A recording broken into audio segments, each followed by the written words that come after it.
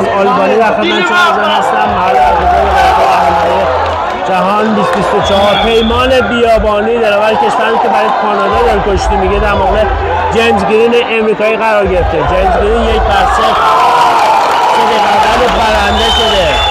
همچنان جیمز گرین رو به جلو. جیمز گرینی که امیر محمدی از تو یا شادبو شکستش داد. لحظه که همکاری دوم میشه برای کشتیگیر کانادا پیمان بیابانی.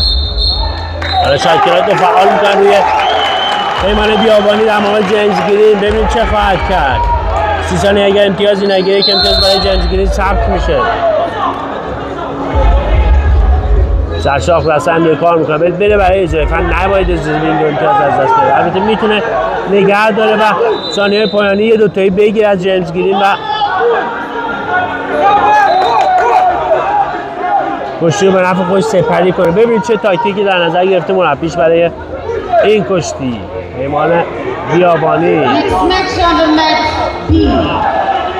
خب حالا یک امتیاز برای امریکا جیمز گرین ثبت میشه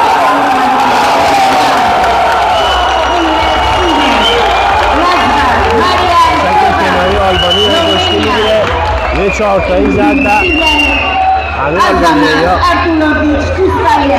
سرچه میشن جنگیری همچنان رو به جلو قدر قدرش میچرده کشتیگیر ما البته کشتیگیر کانادا پیمان بیابانی عزیز هستش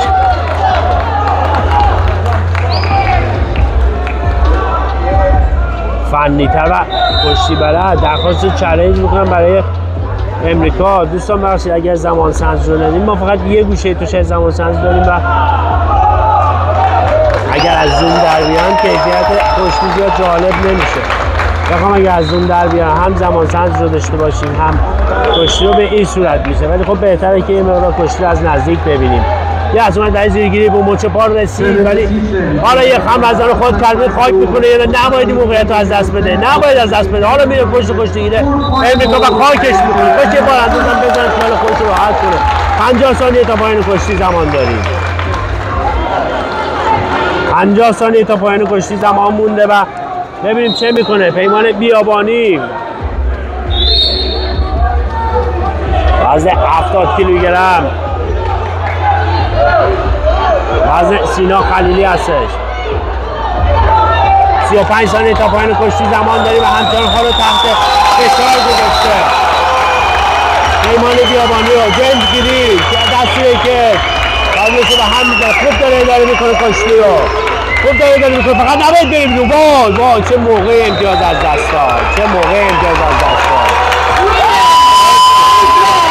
20 ثانیه فقط تا پایین کشتی 20 ثانیه تا پایان کشتی زمان مونده و حیف شد واقعا. احساس ناراحتی می‌کنه پیمان بیابانی. احساس ناراحتی می‌کنه و امیدوارم که مشکل خاصی براش پیش نیومده باشه. یه جورایی هیچ خور درست تو شرایطی قرار گرفت که برج با صداللهیف داشت کشتی می‌گیره وای حیف شد واقعا.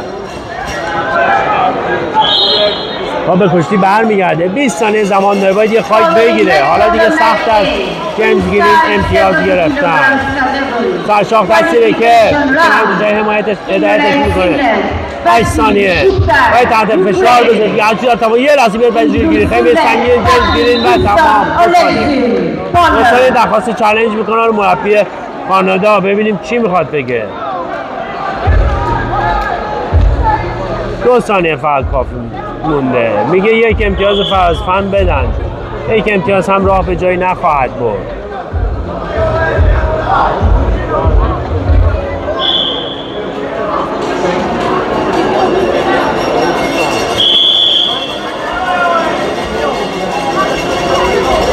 خب پیمان میاد میگه که نمی‌خواد چالنج رو. دو ثانیه فقط زمان داره. دو ثانیه زمان چهار بر دو از جیمز گیرد امریکایی عقب افتاده. ایمان بیابانی که داره برای کانادا کشتی می‌گیره. درخواست چالنج می‌کنم. باید منتظر باشیم ببینیم نتیجه چالنج به کجا خواهد رسید. سه دقیقه اول رو از دست دادیم. ولی خب هیچ فنی رد بدن نشده بود سه دقیقه اول.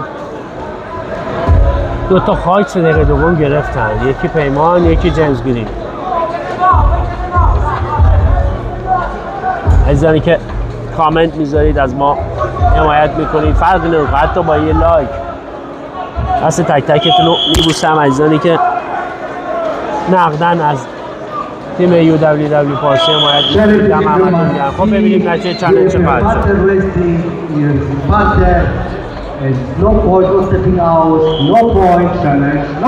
challenge رو هم واگذار کردن فرقی نمی‌کرد. دید دو ثانیه دو امتیاز گرفتن. سخته درسته غیر ممکن نیست ولی خب سخته.